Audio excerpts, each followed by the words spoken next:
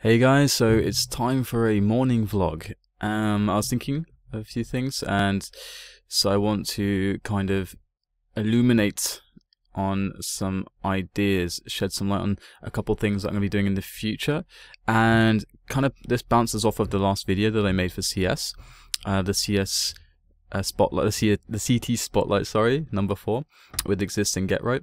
Um, one of the things in that video I'm going to be just talking briefly about a few things in that video. One of the things in that video, um, I didn't have a huge amount of time to explain a lot of things, and there's definitely a lot that I missed because I tried to do a very, very fast format where I would just get, okay, this is the obvious thing that's happening here. We're not going to go too deep into the risks and rewards and you know quantifying the value of different different things and so on and so forth of how we make the decisions to go really deep into it. I instead wanted to just kind of provide more of a a basic glimpse on everything. And I think that it worked pretty well because it does leave room um, for, let's say, an expansion on some of the, the ideas. So, for example, one of those ideas was um, I used the term uh, like levels um, when we're defending on the CT side on the A bomb site. And this is a really interesting concept. I've maybe levels is not the best the best way to describe it, the best word to use.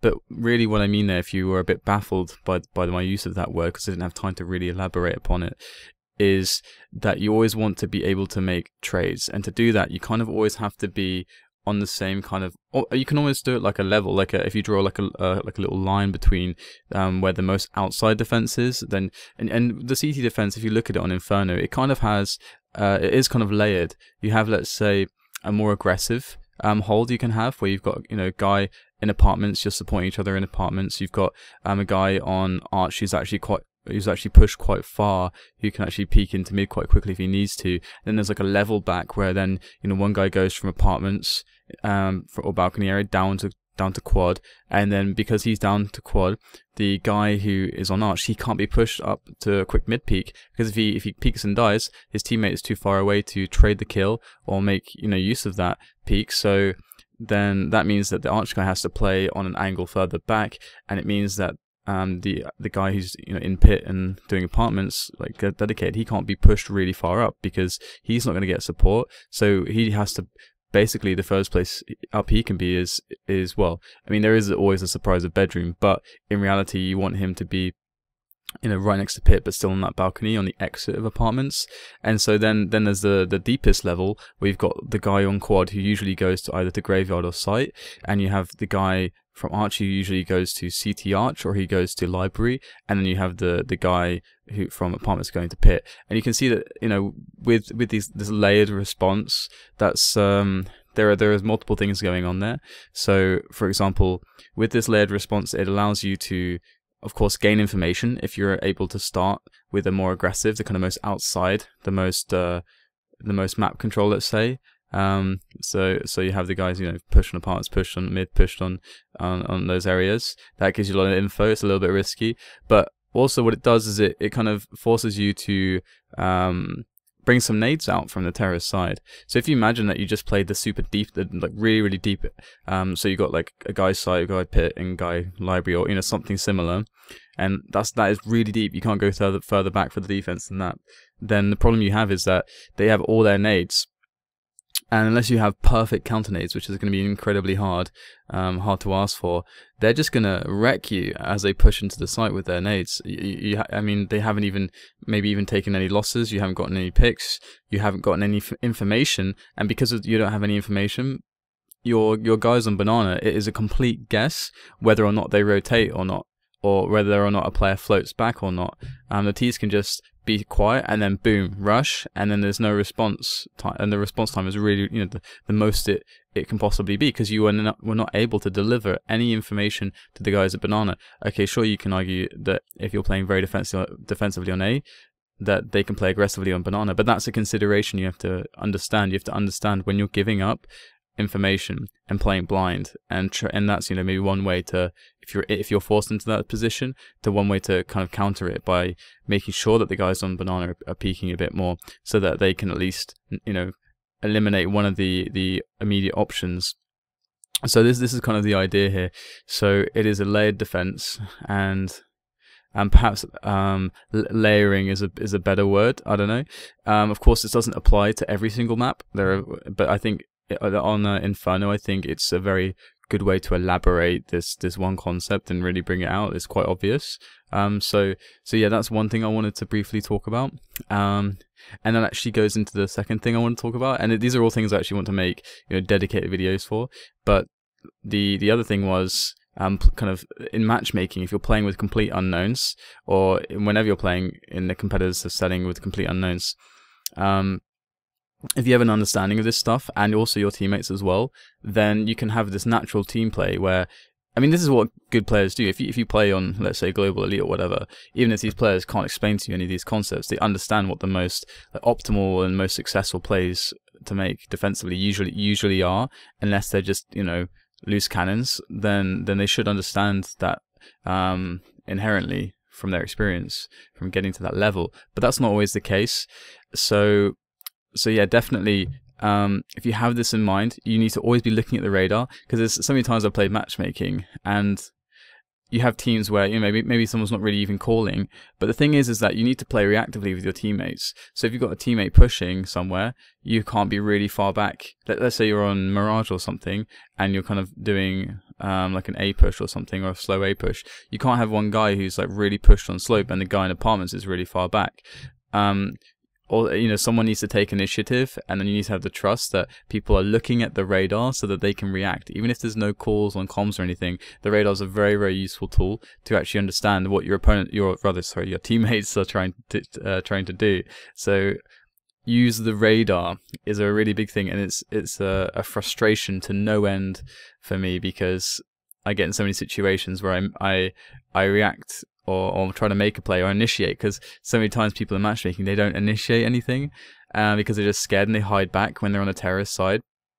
Um, and especially on maps. Okay, well, I, I won't get into the, the full full brunt of the rant, but but um, definitely this is something again that uh, I'll try to make a video on in the future, so so we can have a more more in depth look at it and maybe get the most kind of learning potential out of out of it in the future.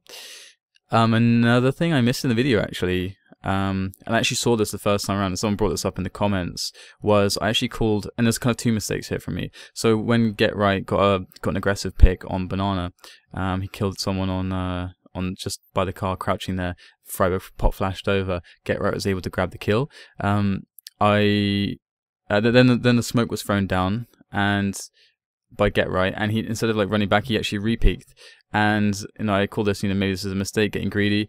There's a quite, there's actually a few ways to look at it. Definitely, um, the, the guy who brought it up in the comments, he said, okay, um, because the grenade just came out, um, the usual reaction from the other guys is is of passivity because usually when grenades are being thrown, you're not expecting the kind of uh, opposite intention and on a high level of course this is the, the psychology they're going to play to it's like if you if you throw a, for example if you throw a flash out and this actually was a very uh, i don't think this is really used as much i mean you can kind of use it with the underhand flashes but it's i think it was much more effective in 1.6 you could throw um, flashes out but you throw them in the way that it's like behind you. So anyone who play 1.6, the kind of flashes I'm talking about is, let's say on Dust 2 you're rushing Catwalk, and on the big, big crate on Catwalk, you could throw a flash right on the top there, and it would flash everyone like towards the CT kind of the site of, of Catwalk. But if you're even in front of it, you know, you don't get flash. So you can run in despite throwing a flash. So technically, you're almost flashing yourself, but doing it in a way so you don't get flashed.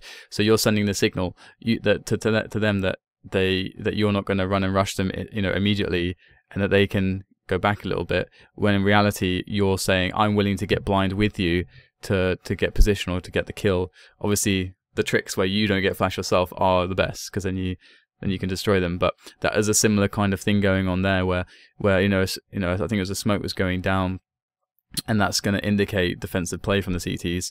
So Get Right kind of did the tried to do the unexpected and got caught. So so there is definitely a lot of merit to that. But I feel like you know after he got just got the the the the, the quick one frag. I mean personally, I wouldn't have gone for that because already there's like a victory there, and already they have an advantage. And by doing doing taking that risk, you you risk, sure you know winning the round, um, by by having a very very good situation, but I think there there's actually a bigger risk um involved where if you die like that, then you get a much worse situation, and you you already had a good winning situation after the first kill. So it's one of those things, you know. Um, you can't say that it's necessarily a, a big mistake. It's a risk. It's a risk that GeT_RiGhT decided that he he wanted to take, that he felt good about. So that's what it is about on the top level. It's about taking risks and analyzing um, how effective a, a risk is going to be. And right, so uh, the next thing was this is also a bit of a matchmaking thing, and another thing I wanted to make uh, make another video on. Um, and it's it's um, it's not necessarily like how to uh, throw smokes and flashes, but more or less why.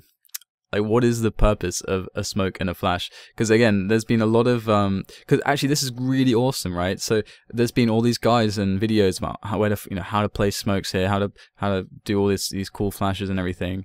And so, I mean, and, and so many times when I've been playing matchmaking, I've seen, you know, these guys just throwing these like crazy smokes, like, well, not crazy smokes, but like really, really precise smokes, let's say on Mirage from T-Spawn, throwing the smokes that kind of smoke out the, um, the kind of, uh, the, the, the peak or, or rather, how, how to actually call it um the, the place the T's first appear when they come into middle from T spawn um smoking that off so you can get behind the the boxes um, on mid so you don't get AWPed. And he was throwing that like almost every single round. He was throwing it on rounds even when it was like we were on an anti-eco. So the whole point of an anti-eco is that all right, the range is our friend. And what he's doing there effectively is completely smoking us off there. So if we are to go middle, then and they rush middle, we get like they get the best possible scenario because they get close range fights when we want really really long range fights for the most efficient situation uh, you know, or situations where um, they don't have the money to buy an AWP, he's smoking off the like a really good angle for for an AWPer. So and that gives them an advantage on getting information on mid. So there's like like this most of the smokes he was throwing. Okay, they were great smokes, but he had no idea when to use them. So you've got to ask yourself, what is the purpose of, uh, purpose of the smokes? And this also goes extends into when a smoke is thrown. What is the smoke? What was the point of throwing the smoke, and what are you supposed to use it for? Because again, matchmaking, because there's such a huge round time, people tend to just wait like way too long and and the idea with a smoke is it blocks off an angle so that allows you to uh, well, either if your CT play defensively to try to delay uh, rush, try to delay peeks, try to offset timings, which is very powerful, and we see that used a lot, and it should be. So that's all normal, but more or less on the on the T side, smokes should carry urgency. When a smoke goes down, let's say again, let's use Mirage as the example. If smoke a smoke goes down in connector, the CTs cannot see through connector during that time, or you know let's say it's it's uh, it's the balcony they can't see through there so you need to use that. You need to like your entire team needs needs to understand that even if you're all unknown to each other okay the smokes are down. That means we have to actually just you know we have the best chances of taking this these positions by by just rushing now because they have less angles they have less players looking at our positions. So we have a, more of an advantage or we get the best possible chance to try to make some ground. And that's one of the reasons why on Mirage at least. And I think, and, and something, this is actually another topic of a video. I want to do videos which kind of explain like the basic, like the basic strategies and basic theories of how to play um, these maps, even if you're playing with some randoms, so that you can make very simple calls that can be effective. Um, so that's another goal for another future video.